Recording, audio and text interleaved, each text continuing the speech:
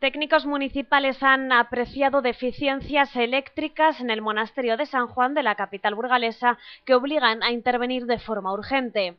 Así lo ha explicado este jueves la portavoz del equipo de gobierno local, Gemma Conde, quien ha señalado que la reparación tendrá un coste de 23.000 euros. Según ha relatado Conde, las deficiencias están vinculadas a la línea de baja tensión del histórico inmueble y ya se apreciaron durante la construcción de la cubierta de las ruinas de su iglesia. Eh, pues en principio eso dependerá del, criterio técnico, pero lógicamente vamos a tratar de priorizar si evidentemente la prevención de riesgos así lo estima oportuno, mantener abierto el monasterio en la medida de las posibilidades. Nuestro planteamiento es mantenerlo abierto, pero insisto, esto eh, está sujeto a un criterio técnico y sobre todo de prevención de riesgos para no generar ningún problema añadido a los visitantes.